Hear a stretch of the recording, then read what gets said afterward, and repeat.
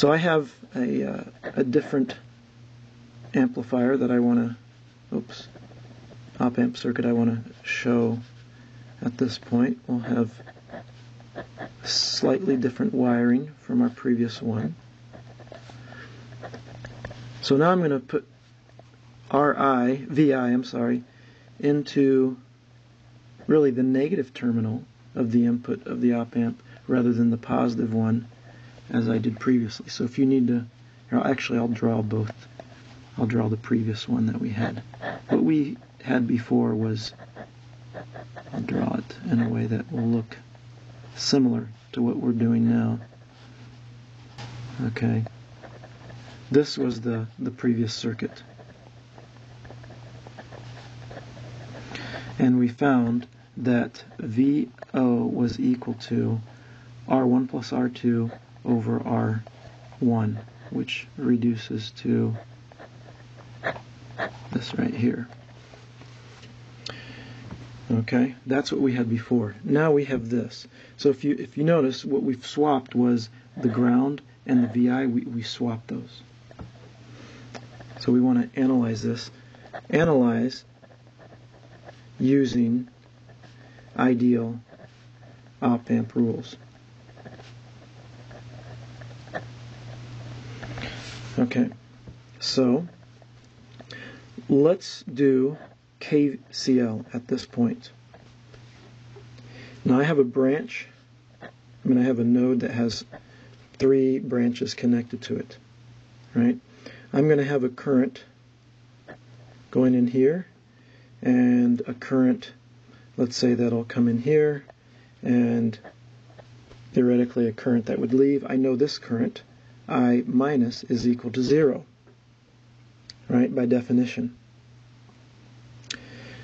So the current flowing in here is going to be VI minus V minus divided by R1. The current flowing in from the top here will be VO minus V minus over R2.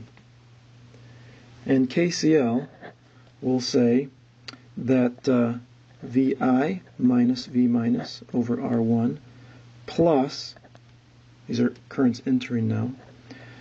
Plus VO minus V minus over R2 is equal to 0, right? Now what's V minus? Well, this is where our op amp rule comes in really handy. The op amp rule number one is that V plus is equal to V minus. So therefore, since V plus is grounded, V minus must be equal to 0. So we then have Vi over R1 plus VO over R2 is equal to 0. And I can easily solve for VO now. And it will be minus R2 over R1 times VI. This amplifier here is called a inverting inverting amp amplifier. Inverting. All right. This is called a non-inverting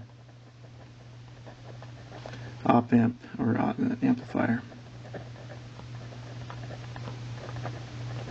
These are two uh, standard uh, elementary uh, topologies, op amp topologies that will you'll just see over and over and over again. We can combine these to do some some other um, some other classic or standard topologies as well.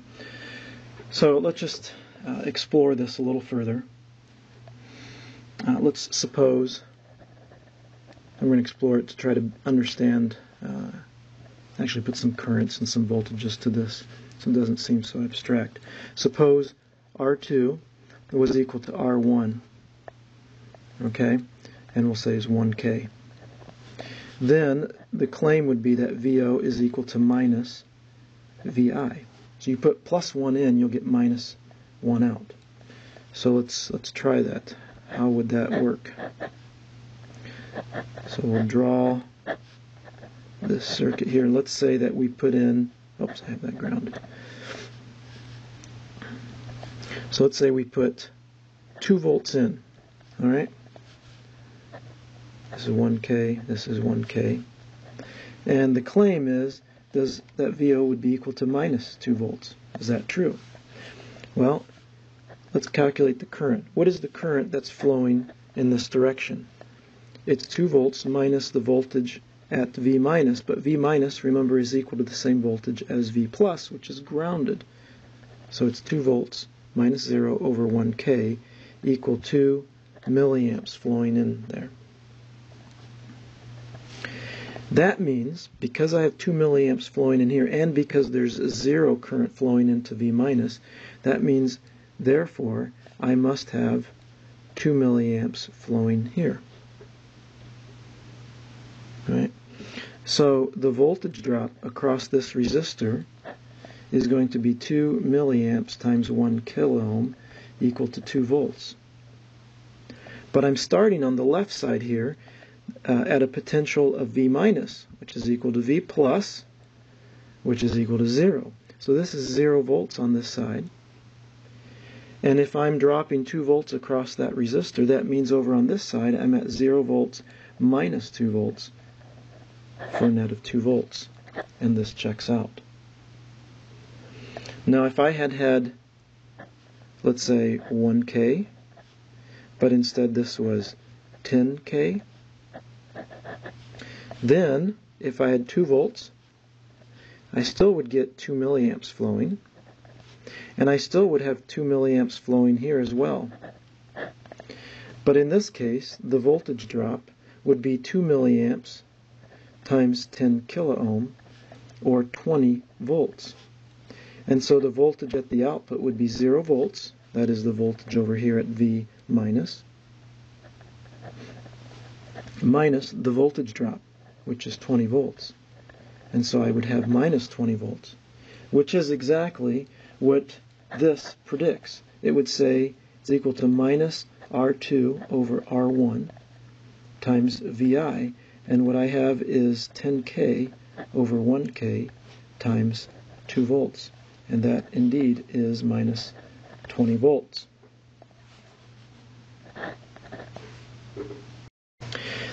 Now I want to show you a slightly different analysis method. So uh, a different analysis uh, approach, which personally is my favorite approach for solving op-amp circuits. So let's, uh, we're going to keep going with this inverting amplifier. And because what I want to point out is that, let me draw this. Okay, so this is V out. This is VO. Okay, this is R1, this is R2. This voltage here is V minus. So I can actually draw a battery, a voltage source here, right? That's my VI. And I could, over here, draw a controlled voltage source, right, which is what's inside the op amp, which I've kind of forgotten about because I'm using this ideal symbol. But what I really have here is I have two voltage sources, VI and VO. And they're tied together through this resistor network, these two series resistors R1 and R2. At the middle point, or the junction between R1 and R2, is a node that I call V minus. That voltage is being monitored by the op amp at its input V minus, but no current flows into it. So I need not draw the op amp and show an additional current path, for there is no other additional current path. And what I when I look at this abstractly, if I if I gave you this and I and I drew it, you know, more conventionally as just like this, and I said, here's a voltage source, here's a voltage source, this is called V1, this is called V2, and I said, what is the voltage here in the middle? Vx, right? You, could write that as a superposition of these two voltages, right? By by inspection, you could say, ah, Vx is, let me turn off V2 and see the portion that comes from V1. I just have a voltage divider. So I'd have R2 over R1 plus R2, V1. And then let me turn off V1, apply V2, and I see my contribution from V2. That would be R1 over R1 plus R2 times V2. Right? Very easy. Well, guess what? You can do exactly the same thing when solving op-amp circuits. Here we would write V minus is equal to R2 over R1 plus R2 VI plus R1 over R1 plus R2 times VO. Now you may and and and you may you may say, wait a minute, this is different because in the in the uh, V1 V2 problem, we're actually given V1 and V2, and we're asked for Vx. In the op-amp problem, it's not like we're approaching the problem having been given what VO is, right? In fact, VO is what we're trying to solve. But it turns out that that's immaterial.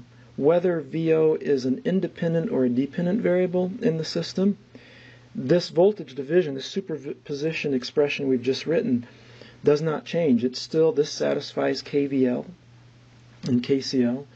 And so we're not making a claim at this point as to which one, um, you know, which variable is dependent and which is independent. Now we do have a constraint here. Uh, we have a constraint that V minus and VO are tied together, right? It turns out that V minus, in this case, we have V minus is equal to, um, what is it? It's going to be V plus, or v minus, minus v plus, which is 0 in this case, right? That's 0, which is equal to minus delta v, right? Minus delta v. And what is delta v?